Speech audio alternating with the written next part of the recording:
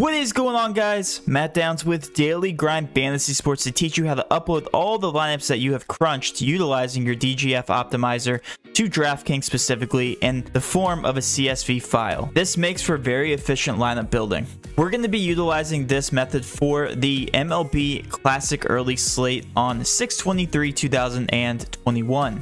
But this can be utilized for every single sport that we have an optimizer for. NFL, NBA, MLB, and NHL. First, you're going to find the slate on DraftKings that you want to play. Since we are doing the classic early slate for MLB, we head over to usedksalaries.csv, and you can read all this, but um, I won't have to read it for you. First, we're just going to head over to the lineups download page. It's going to bring you to the specific CSV template on DraftKings. So you're going to have to select the sport that you're going to want to play, which is MLB classic style, and then the early slate. Hit download. At the bottom of your screen, you'll see the downloaded file. Head back to your optimizer. Choose file. DK salaries. Use this file.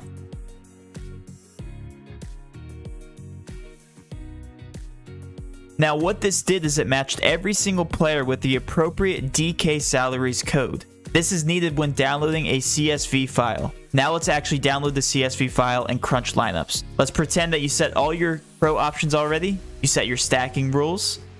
And now you're going to head over to generate lineups. Now that we have our lineups, we're going to enter the amount of lineups that we want to crunch.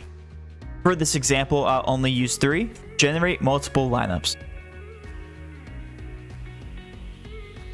Another CSV will open.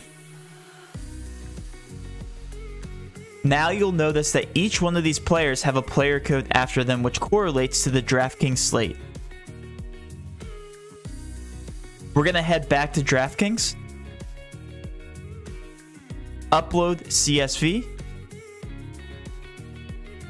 the file that we just downloaded, open.